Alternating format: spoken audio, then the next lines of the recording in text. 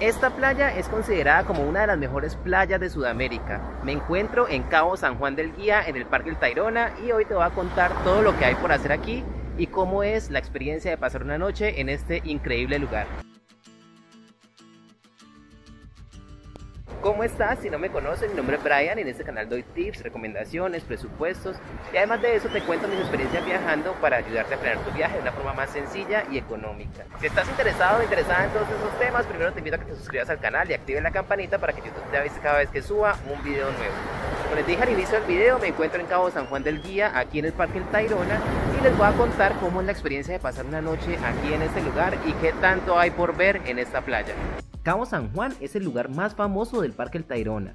Para llegar hasta aquí es necesario hacer una caminata de más de dos horas desde la entrada al zaino del parque. Si no quieres caminar, puedes realizar el trayecto en caballo por 60 mil pesos. O si te encuentras en Santa Marta, desde el Rodadero o Taganga, puedes tomar una lancha que va directo y te trae hasta aquí. El trayecto en lancha cuesta 100 mil pesos. Puedes comprar el trayecto de ida y regreso por 180 mil pesos. Sea como sea la forma en que llegues, lo primero que vas a encontrar es esa colina con ese kiosco. Esa colina es un icono de aquí del Parque El Tayrona y es un icono y una postal de Colombia. Y es que si bien puedes venir a Cabo San Juan en un día y regresar, yo te recomiendo que te quedes una noche aquí, ya que es una experiencia muy bonita, vas a tener una experiencia de conexión con la naturaleza, además vas a tener la oportunidad de ver el atardecer y el amanecer. Una experiencia que de verdad la recomiendo muchísimo. Pasar la noche en el Parque Tayrona es una experiencia que tienes que vivir. Dentro del parque hay hoteles y cabañas muy muy muy bonitas, pero suelen ser bastante costosas. Así que lo que mucha gente hace es rentar ya sea una hamaca, una carpa o una cabaña sencilla. Dentro del parque hay dos zonas donde puedes hacer esto. Una es la zona de arrecifes que se encuentra más o menos a una hora y media de la entrada del parque. Y la otra es aquí, en Cabo San Juan, un lugar que te recomiendo. Hay diferentes formas de pasar la noche aquí en Cabo San Juan y en general en el Parque El Tayrona. Hay varias zonas de camping, varias zonas de estancias. Por ejemplo, aquí en Cabo San Juan está esta zona donde puedes alojarte. Hay varias formas de alojarte, como te dije anteriormente. Están las hamacas, las hamacas son mucho más económicas. Una noche aquí en hamaca cuesta 30 mil pesos. Están las carpas individuales, que son las carpas sencillas, que es donde yo me estoy hospedando. Por ahí les voy a dejar unas imágenes de cómo es por dentro y qué te incluye que estas carpas individuales cuestan 70 mil pesos por noche y también hay cabañas por allá atrás. Hay cabañas que son mucho más cómodas, algunas tienen aire acondicionado y esas sí cuestan creo que a partir de 250 mil pesos. Por ahí les voy a contar bien la información y cómo reservar si también quieren pasar la noche aquí. De hecho, miren, también tienen la oportunidad de armar su propia carpa. Aquí hay zonas de camping, también te alquilan el espacio para que si quieres venir con tu carpa, pues puedas armarla y pasar la noche aquí. Miren, allá atrás hay muchas más cabañas donde puedes hospedarte y detrás de todas estas zonas de alojamiento se encuentran los baños. Pues obviamente si te estás alojando aquí tienes el uso gratuito de los baños. Las personas que solamente vienen por un día van a tener que pagar dos mil pesos por el uso del sanitario y de las duchas si también lo desean. Y toda esa es la zona de los baños. Por acá están las tarifas. Cabo San Juan del Guía, ofrece los servicios de baños a 2000, orinales a 2000, duchas a 2000, vestidores gratis. No aplica para los huéspedes de Cabo San Juan del Guía. Vamos a subir a la colina a ver cómo son las vistas desde allá arriba.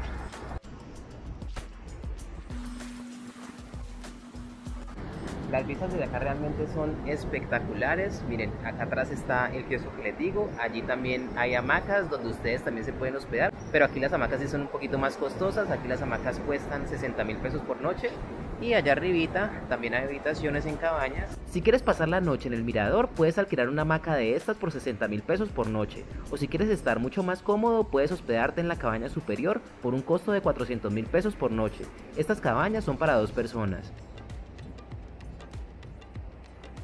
Desde aquí arriba se pueden observar las dos playas y en el fondo la Sierra Nevada de Santa Marta.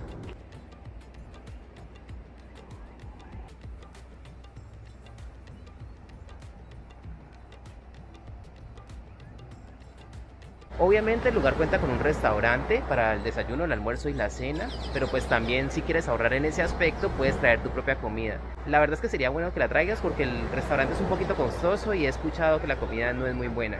Acá te voy a dejar la tabla de precios para que la tengas en cuenta. Miren, hay desayunos desde 25 mil pesos y platos desde los 45 mil pesos. El plato más costoso que veo aquí es una Sierra San Juan que cuesta 60 mil pesos. Y pues si no quieres comer en el restaurante, también hay opciones de comida un poquito más económicas. Por ejemplo, está el pan y las tostadas rellenas, que son comidas típicas de acá, de esta área del país. Entonces también es una opción más económica por si quieres ahorrar dinero en la alimentación. Cabo San Juan cuenta en realidad con dos playas y las dos playas están divididas por la colina y acá atrásito miren que hay una pequeña laguna. De hecho en esta laguna habitan caimanes y por ahí ya vimos el primero.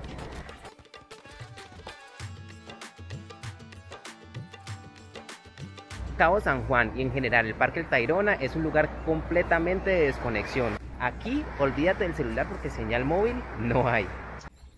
Miren, aquí también pueden encontrar una estación de carga. Es el único lugar donde pueden poner a cargar sus dispositivos. Por si aún estás dudando si quedarte o no, aquí te voy a contar un poquito de mi experiencia de cómo fue pasar la noche en este lugar. Después de más de dos horas de caminata, dormí una siesta corta y luego salí a disfrutar un poco de la playa para después dirigirme a una de las playas vecinas para ver el atardecer. Ver caer la noche en Cabo San Juan es simplemente espectacular. El simple hecho de estar aquí, observar caer la noche al lado del mar, es una experiencia muy bonita.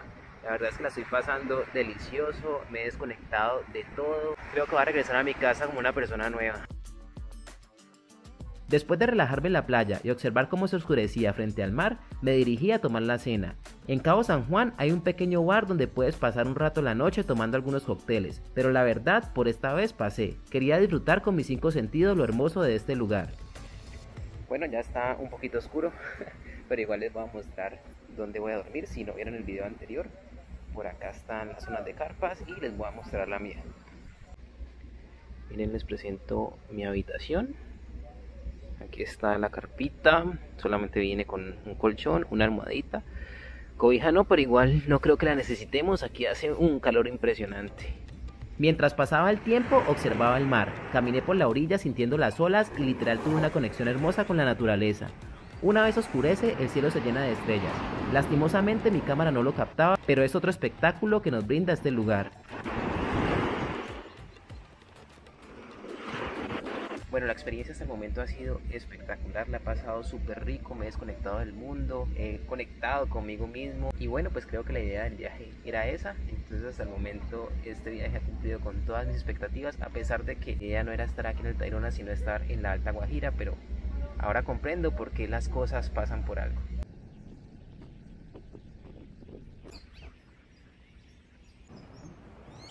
Al día siguiente desperté súper temprano, tomé una ducha y fui a visitar las playas cercanas que también están increíblemente hermosas y se las mostraré en los próximos videos.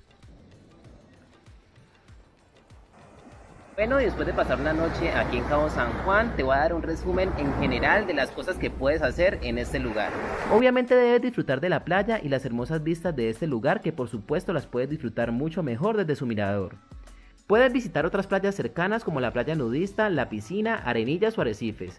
Ojo, ten en cuenta que en algunas de estas playas no es posible nadar porque puede ser peligroso. Haz caso a las recomendaciones, si lo advierten es porque muchas personas han perdido la vida allí.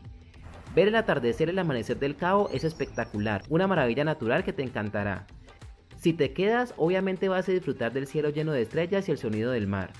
Obviamente debes disfrutar del camping y la noche en medio de la naturaleza. Y no está de más disfrutar de bocadillos y algo de gastronomía típica en general de esta región de Colombia. Bueno, y cuando ya termines de pasar el día acá y quieras regresar a Santa Marta, hay varias formas de hacerlo. La primera es caminando, otra vez por el mismo sendero por el que ingresaron. Llegan a la entrada del parque y allá deben coger el bus hasta Santa Marta. También aquí en la entrada de Cabo San Juan pueden alquilar un caballo por 60 mil pesos y los va a dejar también allá en la entrada del Parque del Tayrona. O si no, también pueden tomar una lancha que cuesta 100 mil pesos, si no estoy mal. La lancha para aquí y los va a dejar en Taganga, en Santa Marta. Como saben que soy ahorrador al 100% y me gusta caminar, pues yo decidí tomar el sendero de regreso caminando y de ahí tomar un bus hasta Palomino, otro lugar que amarán aquí en la costa colombiana y que les mostraré en el próximo video. Bueno, y si estás pensando venir a Cabo San Juan en el Parque del Tayrona y este video te fue de utilidad, por favor déjale un pulgar arriba. Si no estás suscrito al canal, espero que te suscribas y hagas parte de esta comunidad. Muchas gracias por ver el video, gracias por estar pendientes del canal. Nos vemos en el próximo video para darte más tips, experiencias y recomendaciones de viaje.